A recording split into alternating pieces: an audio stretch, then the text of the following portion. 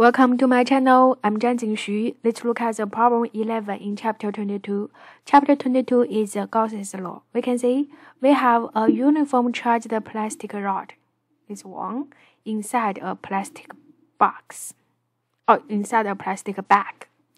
Then the total electric flux is uh, given, so you can write it there. Ask you what is the linear charge density.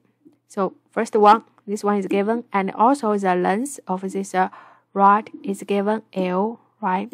So now I ask you to find lambda, linear charge density.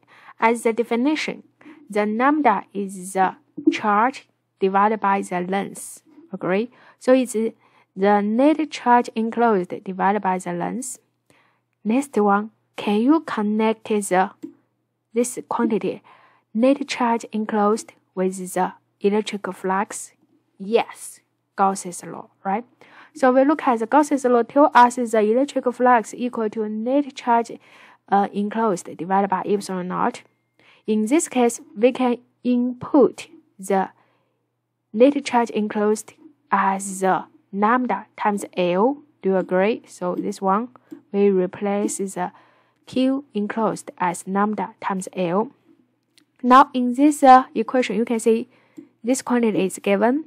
Epsilon naught is a constant. L is given. So very easily you can get the function for the lambda. Input all the given quantity, get answer there. Thank you.